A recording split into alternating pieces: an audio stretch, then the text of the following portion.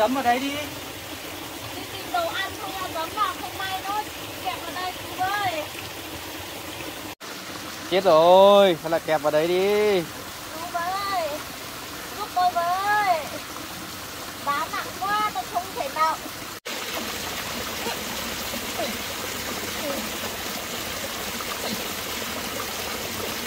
Chờ một tí nhá.